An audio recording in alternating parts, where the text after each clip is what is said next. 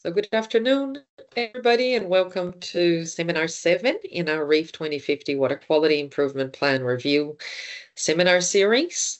These seminars are built to help you inform um, people on the different bits of the water quality story that contribute towards the review of the Water Quality Improvement Plan.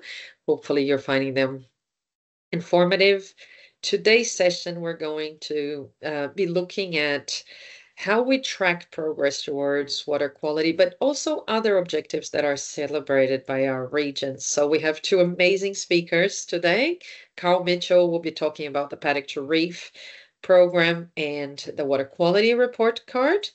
And then Rachel Darcy is going to be talking about the regional report card partnerships and the amazing work that through those partnerships gives us a really good insight into um, the the outcomes and the objectives in those those regions.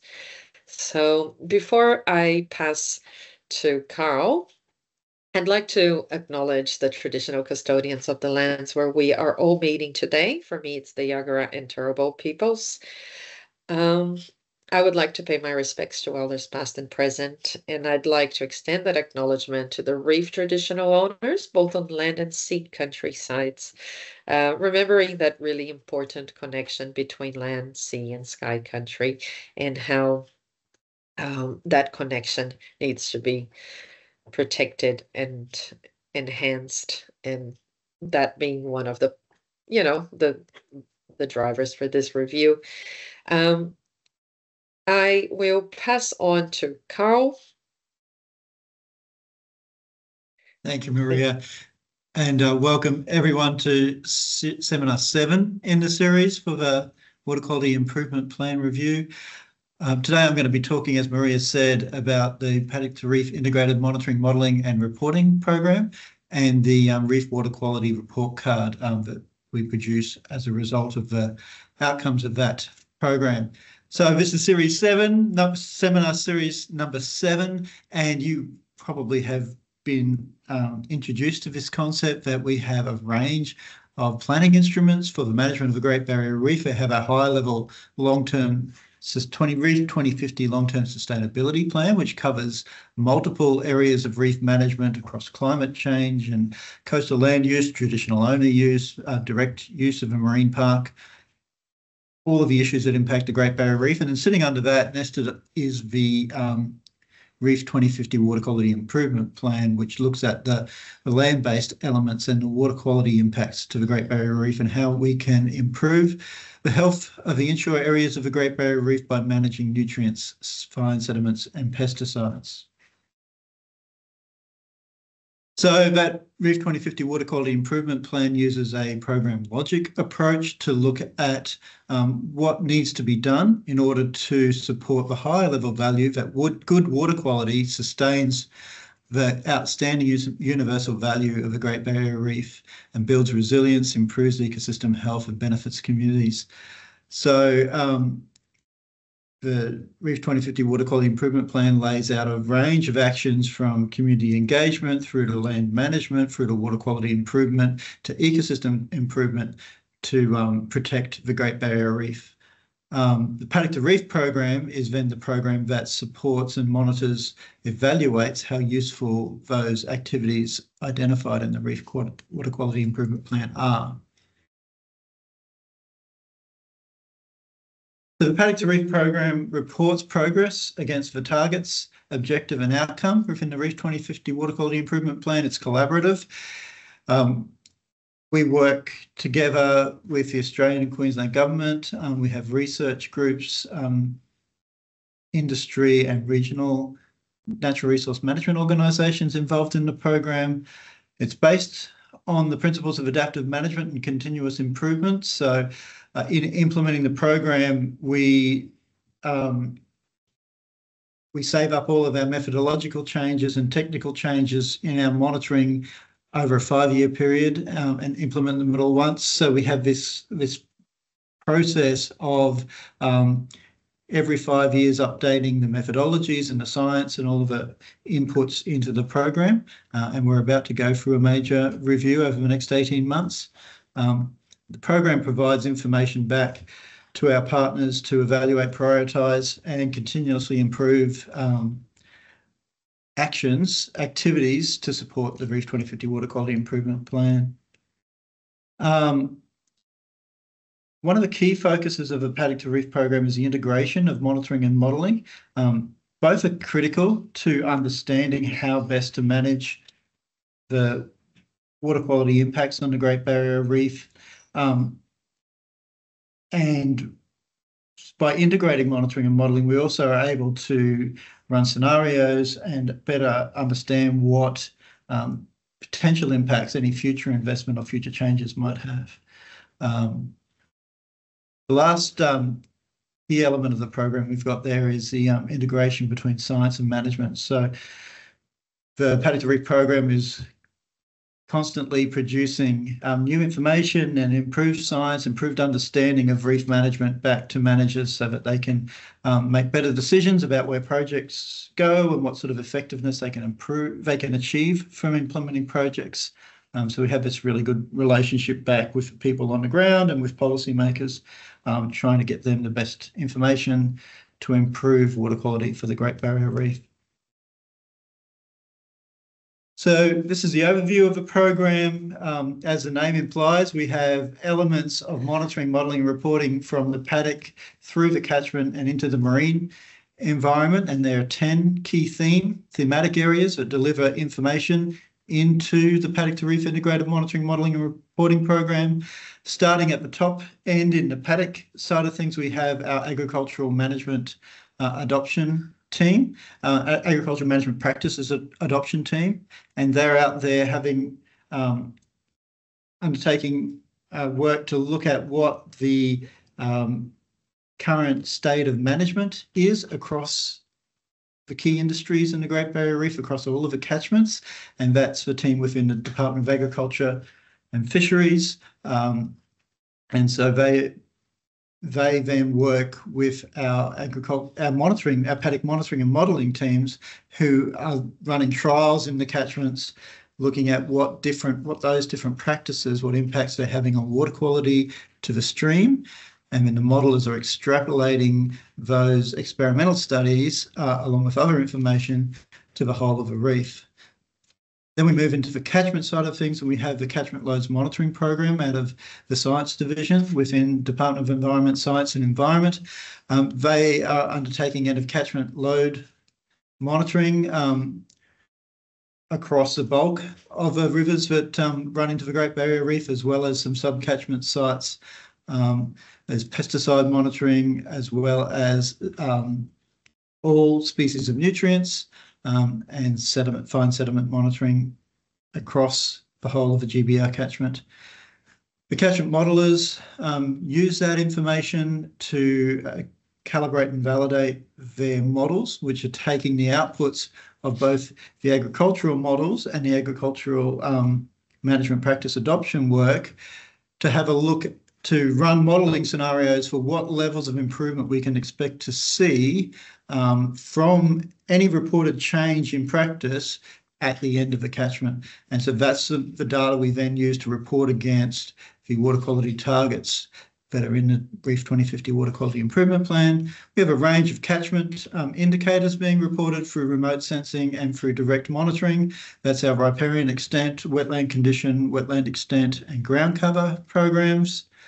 We have a human dimension or program as well that are looking at stewardship and um, the barriers to adoption for people as well as people va people's values um, as far as practices and implementing new practices. And then in the marine environment, we have uh, seagrass monitoring, water quality monitoring and coral monitoring that fit underneath the marine monitoring program that's rolled out by the Great Barrier Reef Marine Park Authority and we have marine modelling um, with the eReefs team out of the CSIRO. So as you can see, it's a very comprehensive program. We've got monitoring and modelling from everything from human perceptions of management practice right through to coral and seagrass health. We report a number of scales. So we've got we've got Great Barrier Reef wide reporting. Um, we've got the six natural resource management regions, um, the 35 catchments, and then for the larger catchments, the Fitzroy and the Burdekin, we break them up into we further break them up into smaller management units. Um, so that's our reporting scales. And we'll see that when we go through the Reef Water Quality Report card shortly. So the Reef Water Quality Report cards, it's an interactive report card. Um, it's online and you can actually drill down and get a finer and finer detail and, and get more and more information out of our data by interacting with the report card. Uh, it's has been in the past released annually. The current one is a two-year report card. We've um, been undertaking a review and model rebuild, and it takes us 18 months to crunch all the data and produce all the reports for the report card. So, but this current one was released in May, and it's a um, it's a two-year report card. We're going to go through a bit of a walkthrough of the report card in a minute. Um, the key features of the report card is that it's a report card. It has um, a five-point scoring system, A, B, C, D, and E, like you might have um, got back in school, and it gives you a, a feel for progress against the reef water quality targets. Um, and that's a key differentiation between the Reef Water Quality Report Card and other report cards. You'll see the regional report cards shortly. They're relating the condition of the catchments, whereas we are um, particularly in water quality and in water quality improvement reporting against targets. Uh, also in the, in the catchments, in the marine environment, we also report condition similar to the regional report cards.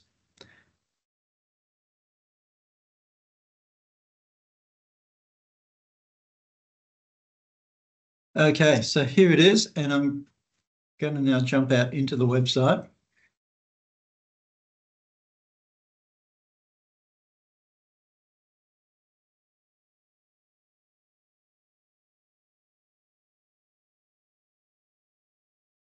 So when you first jump onto the Reef 2050 Water Quality Improvement Plan website, you'll get to this landing page, which gives an overview of the um, reporting for the 21 and 22 period, as well as um, a bit of background for the um, climatic context um, and the results for the program, the investment for the period, um, and then some of the outcomes. We've got a, um, a bit of an infographic here on some of the key results, and I've got that in a slide further on that I can go through.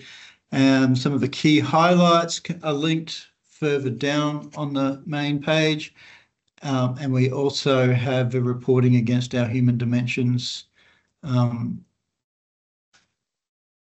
telling the human story behind practice change. And so that's some of the perspectives of different growers. Um, so all of that information is there on the front page, as well as the frequently asked questions. And then if you need want to get into further information about how we score, how we generate our grades, um, all of the methods are summarised um, and available. Uh, and then we also link back to the Reef 2050 Water Quality Improvement Plan, which of course all of the information on here is um, reporting against the objectives targets for that. So then if you want to have a look then in more detail around our individual results, the 2025 catchment targets results,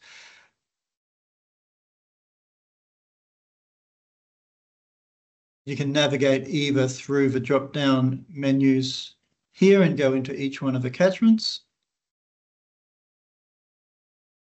You can refine based on the parameter that you're interested in.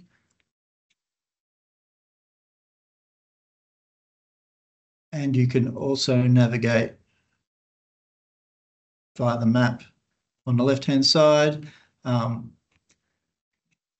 we also have these summaries here about each one of the catchments, so you can get a snapshot of land uses and some of the main um, characteristics of each one of the catchments. So here you can see the Great Barrier Reef wide results for dissolved inorganic nitrogen for 2021-22. Um, the target is in the grey box at the top, so this tells us what we're shooting for. Um, overall progress is in this circle here, um, which says that we're about halfway towards for 2025 target. And we've also got the year by year results and the trajectory line and the grade for this two year period. So each one of the pages, you'll see these types of results and we can scroll through those for the different parameters. Um, and also we can go down in scale to regions and catchments. So there's a wealth of information in the report card on those water quality results. Um, and you can spend time at your leisure going through and, and um, if you're looking for more information on each one, it's here on our info tab, and we can point you then also to our technical documents on our website. So moving off from the water quality results and into the, um, the wetland and catchment condition results, can see we have these report card coasters for marine condition, and then you can get more detail on that, look at the trends over time and the breakdown of those results, as well as the summary um, for the conditions of the year and the results for that year. For the marine environment, we also have that in the wetlands for both the state and the pressure of wetlands across the Great Barrier Reef. Um, and then we have the ground cover results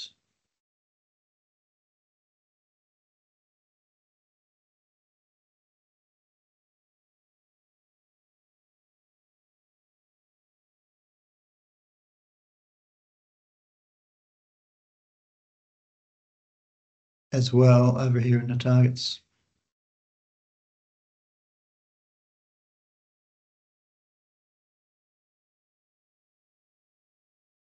Just wanted to show you with the ground cover results, we have these really great maps of the ground cover for each of the periods. And they can give you a pretty good snapshot of what the condition of ground cover was at that time. So please have a look at our um, our report card. There's a wealth of information there that's frequently asked questions and lots of information that you can go to for further um, clarification if you've got any questions. Um, but I'll just show a quick summary of some of the results from this latest report card. Uh, we saw very good progress in pesticides in the Murray catchment. Um, we've had moderate condition in the inshore marine environment. Uh, the progress towards those water quality targets over the two-year period um, for dissolved inorganic nitrogen has been assessed as very poor. Uh, for fine sediment, for two-year progress was assessed as poor for the whole Great Barrier Reef. Um, very good for particulate phosphorus and um, moderate for particulate nitrate. Um, the largest improvement we saw were in the um, Endeavour and Murray catchments in fine sediment and a Burdekin for dissolved inorganic nitrogen. So the summary, um, as you can see, we've got a, spectrum of colours there, so, variable progress towards those targets for the water quality, different water quality parameters across the Great Barrier Reef. Um, so some good news stories and some not so good news stories as far as our progress for that two-year period. So the Reef Water Quality Report Card is um, one of multiple report cards on the Great Barrier Reef. Uh, and we have a five-yearly outlook reporting from the Great Barrier Reef Marine Park Authority, and the outlook report is expected out shortly. Um, we have the Reef Water Quality Report Card, um, which came out in May, and then there's regional report cards produced by five of the reef regions um, involved in undertaking assessment analysis of their condition of their catchments. And so I'm going to hand over now to Rachel Darcy from the Office of the Great Barrier Reef World Heritage and our Reef Partnerships and Innovation team. And Rachel's going to take you through some of the um, reef report cards. Thanks, Carl, for that. Hi, I'm Rachel. Um, I'm, um, as Carl said, from Office of Great Barrier Reef and World Heritage. So um, Queensland Government is a major funder into these regional report card partnerships who develop the report cards. But I must acknowledge the five regional um, partnerships. They um, have a, a, great set of um, staff. There's about 18 staff across the regions um, who are who are executive officers and tech and project officers um, for the partnerships, and it is they who develop the um, these report cards um, with input from um, all the partners, which include Queensland government, Australian government, uh, local government, industry, and a whole bunch of people. So I've just got the front covers of the most recent report cards. So we've got the Mackay Sunday one, the Townsville, the Gladstone, uh, next, uh, the Fitzroy, oh Lord. And we had a little issue with the Wet Tropics one front page, and I think we accidentally deleted that. So my sincere apologies to, for Wet Tropics for that beautiful front cover it was there 10 minutes ago. okay. Um, so the regional report card partnerships bring together partners who have a shared vision for healthy uh, waterways in their regions to report on the condition of the waterways. Um, so the partners, as well as um, the range of government and local communities, it also includes traditional owners, industry, farmers, scientists, tourist operators, conservation groups, and others. They uh, are all very individual and they accommodate issues that are relevant to their region. Um, they have um, slightly different indicators and data sources. They are very much community and partners part driven by their partners as to what the um, report card will cover. They provide a finer scale regionally relevant assessment of the health of all the waterways in their region. And they're not just about environmental health, they um, assess the status of ecological, environmental, social, economic, and cultural values of a particular region. Um, they are independent of government. Um, uh, so um, they provide a balanced um, source of information. Uh, they highlight environmental pressures that are best dealt with by uh, local government and catchment management groups and local partners in their region. They are different to the uh, Reef Report Card in that they mostly rely on data from outside sources to inform the health to inform their report cards. Some of the partnerships do um, um, create and um, source their own um, data, but most of them are what we call data scavengers, getting data from where they can um, and validating it through their technical working groups and independent science groups. Okay, so um, as, as mentioned, they cover more than just waterway health indicators. They uh, have a focus on healthy land and waterways. They cover climate data, land use, biodiversity, pesticides, fish health, and wetlands. They also look uh, cover healthy marine ecosystem data. We have data on coral and seagrass health and waterway and water quality.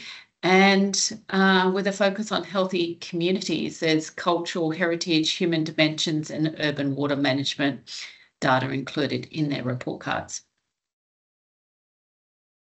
Uh, because they uh, contain a lot of data, and um, because it's a bit hard sometimes to understand what the difference is between the regional report cards and the reef report card, um, we have developed a report card explainer um, to describe the difference. And uh, this is available um, online and the linkage is at the links sorry are at the end of this presentation so i know that's a lot of information to see on your screen but um, up the top left, the um, text in, in black is showing the reef report card uh, and the indicators that they cover. And then we have the five regional report cards from the wet tropics, the dry tropics, Mackay Whitsundays, Fitzroy, and Gladstone.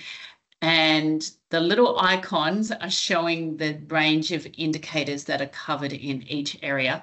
And then there's an icon legend at the bottom, which talks about um, breaks it into um, stewardship, management, practice and adoption, um, human dimensions, uh, catchment and uh, marine condition, water condition, biodiversity, habitat, and so forth. So, um, and then we have uh, circles um, of either a complete circle, which shows that the data is coming from the to Reef team, or um, a dotted circle showing another data source, for example, um, coming from AIMS, but there are also various other data sources. This is capturing um, um, the vast majority of the data, but not all of it.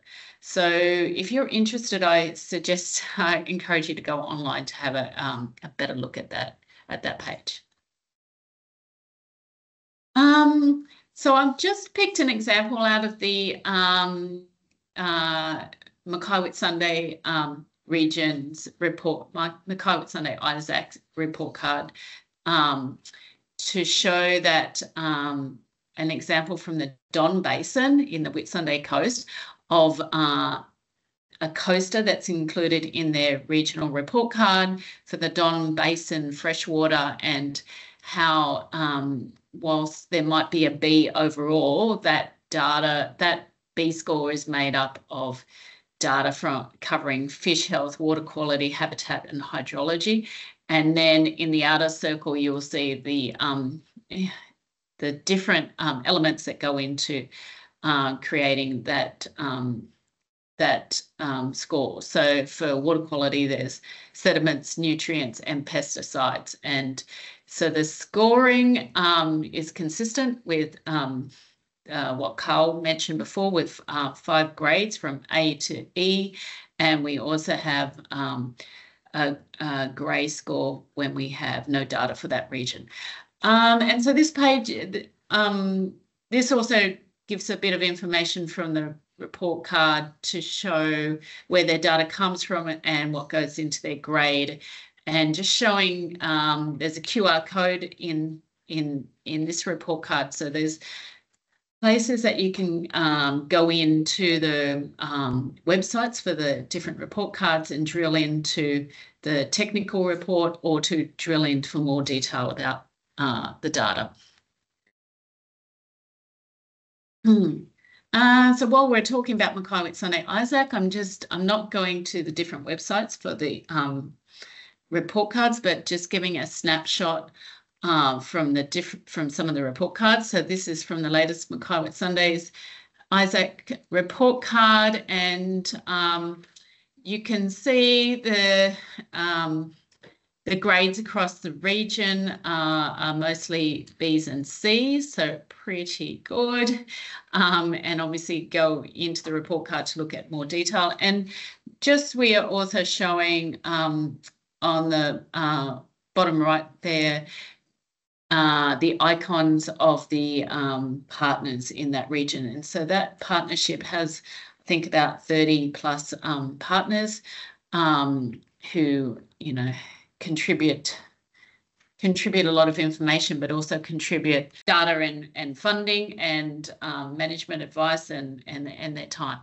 Uh, this is um, a snapshot, uh, an overview of the Wet Tropics Partnerships um, latest report card and their waterway grades. Uh, so the Wet Tropics Partnership uh, is covering nine catchments and eight, estuaries and um, as you can, as you might be able to see from that, it's got it covers a uh, a big amount of coastline from the Daintree um, in the north, which is shown on the right of the screen, down to below Hinchinbrook, and uh, grades there are ranging from Bs and Cs.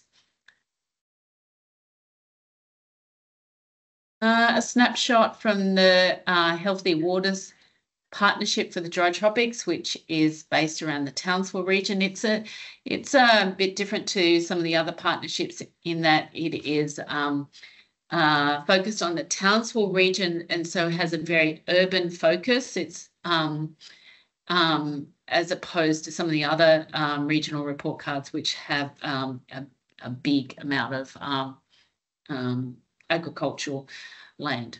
Um, and so a snapshot from the Townsville um, report card uh, show, shows a lot of uh, Bs and Cs. It's a younger partnership, uh, hasn't been uh, going as long as some of the other partnerships. And so um, it is still developing up its data sources. And so it's um, coasters um, and, and not as do not cover quite the um, extent of data that some of the other report cards do.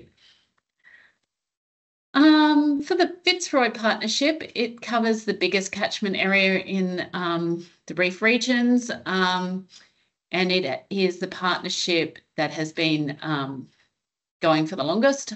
Um, and so this, instead of showing, oh, this page is showing um, a snapshot of the history of the partnership from when it was, uh, there was community concern about the wanting information about the health of the waterway back in 2008, and then the um, the partnership was actually established in 2012 with their first pilot report card in 2013. So um, last year they celebrated uh, 10 years of reporting, and this partnership has um, um, developed with its data to um, to be able to release report cards um, only a few months after the data year that they're um, covering. So this year they will be releasing their report card for last for the financial year of uh, 23 24 so up and with data up until june of this year and they will re- be reporting releasing that in october this year so that's uh, an amazing effort to um, have such close um, close time to their reporting uh, a snapshot of the Fitzroy partnerships um, grades show lots of um, Bs and Cs um, for their region as well. The Gladstone report card um, is focused on the Gladstone Harbour. Um, this snapshot shows the coasters covering the environmental grades for the um, harbour zones um, a mixture of A's and B's and C's and a few D's. They um, all, as as I think I mentioned before, that with the partnerships all being independent and very much individual, they do cover different um, indicators. So the Gladstone um, partnership has quite a strong focus on fish health and crab mud crab health. And so they have indicators um, for that that cover fish health and fish recruitment and mud crabs. Um, and that goes into their env environmental grades, but they also um, have report on economic, cultural, and uh, social health of the harbour. Um, and now I'll just check that I've covered all.